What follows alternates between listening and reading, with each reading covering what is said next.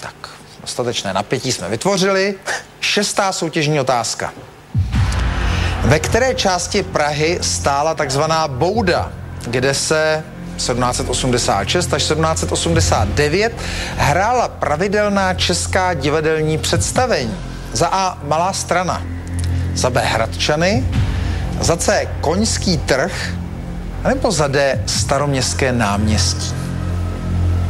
Já jsem čekal pražskou otázku, no. To jsou ty hnusní Pražáci. ne, kdyby se zeptali, kde je svatý kopeček. To ne. To ne, to neví. Bouda. Eh, Bouda, no já teda mám podezření, já nechci ale ještě ho říkat, protože abych tře- kdybych se pak rozhodl třeba dát diváky, tak abych je neovlivňoval. Um,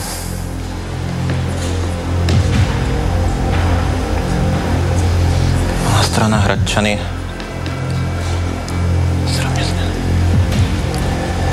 A co, jsou na deseti tisících. Dáme za C koňský trh. Já mám podezření, totiž koňský, koňský trh je Václavák, že jo? A já myslím, že stála na Václaváku, ale nejsem si tím tak úplně jistý. Ale dáme to. Dáme Cčko. Mm-hmm.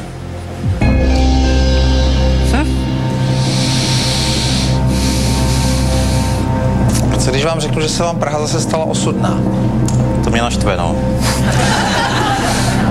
Co si myslíte, že když to není koňský trh, to mělo správně být? Hmm. Co jste zvažoval a měl jste asi zvolit? Já jsem zvažoval nad staroměstským náměstím, protože na Hradčany se to nevleze a na malé straně to se mi nějak nezdá, že tam by bylo divadlo, kde tak. Takže A na Staromáku, vedle Morového sloupu. na Staromáku tam by se vešlo, kdyby chtěli moc. Byl ještě Mariánský sloup tehdy? No, právě. A zase tam, zas tam stála ta radnice ještě celá. Nebo už ne, já nevím. Já se nechci strapňovat, už radši budu Co se mlčet. nestrapňujete, je to koňský trh?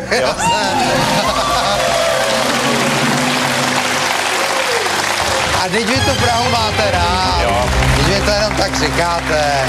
Odhalil jste mě, no.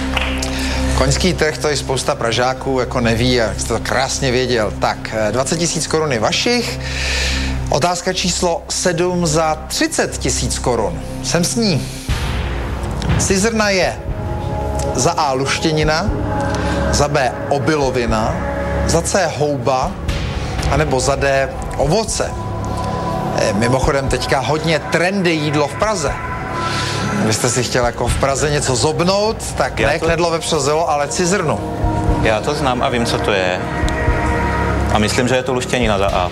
Označíme si Ačko.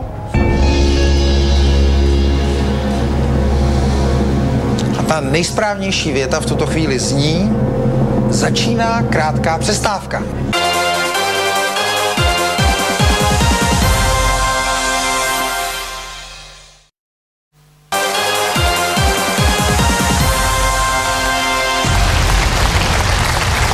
Vítejte milionáři, ať už víte nebo nevíte, cože to je cizrna, ať už jíte nebo nejíte. Každopádně se to v tuto chvíli dozvíte. E, náš soutěžící si zaškrtl, že to je luštěnina za A. Řekl to docela přesvědčivě. A to také proto, že to věděl. Takže mu gratulujeme k jeho vědomostem.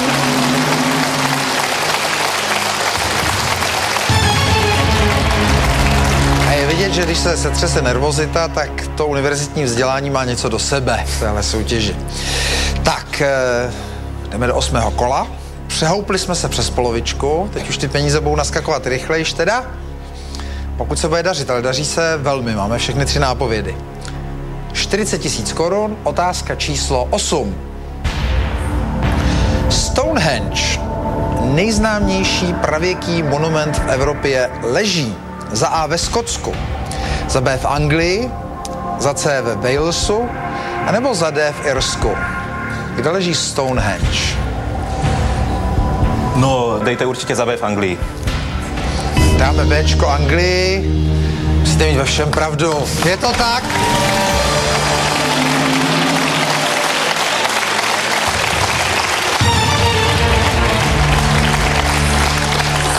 No, už to docela hezká cestička bude. Když nebudete zrovna toužit po pětihvězdičkových hotelech, tak můžete urazit docela už kus světa třemi nápovědami a myslím, že ty miliony se začínají otřásat v základech. Otázka číslo 9 za 50 tisíc korun. Jak se v antické mytologii nazývaly démonické bytosti půl ženy a půl ptáci, které unášely a týrali lidi? Za A sirény, za B harpie, za C pítie, anebo za D furie. No ale filozofická fakulta, to byste měl vědět. No měl, no. Taky, že vím.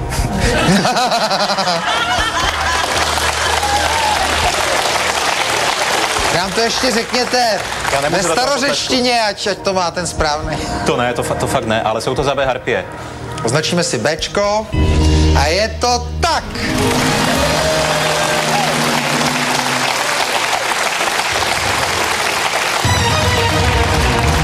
Několikrát řekl, tohle je soutěž, která chytrým, vzdělaným a odvážným přináší peníze. Vám v tuto chvíli přinesla 50 tisíc korun.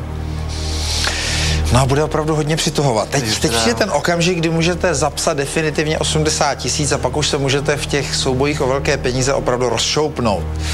Otázka číslo 10 za 80 tisíc korun. Která z uvedených lidských buněk nemá jádro? Za A kožní buňka, za B červená krvinka, za C spermie, anebo za D neuron. Která buňka nemá jádro? Tak toto nevím. A Konečně! Toto trvalo.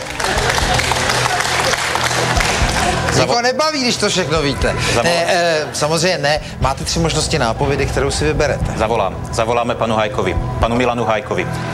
Voláme pana Milana Hajka.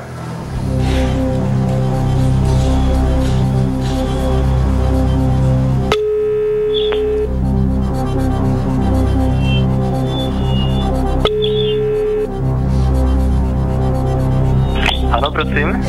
E, Tady Roman Šmucler, e, milionář na primě. E, Volám panu Milanu Hajkovi. Ano, voláte? E, Potřebuje velkou pomoc pan Čeněk Matocha. Moc mu to tady jde v té soutěži, ale teď se nám malinko zasek na jedné otázce. Tak budete mít 30 vteřin od okamžiku, kdy začne číst až na odpověď. Tak e, pozor, začínáme teď. Která z uvedených lidských buněk nemá jádro? Za A kožní buňka, za B červená krvinka, za C spermie, za D neuron. Je to 100% za B červená krvinka. Dobře, děkuji vám moc, pane profesore. Pozdrav...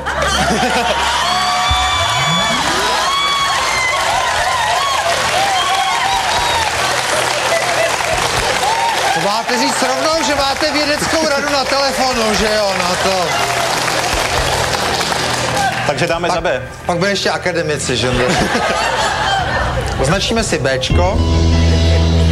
Jsem radost, že aspoň něco vím, co vy nevíte. E, A je to tak, samozřejmě, gratuluju.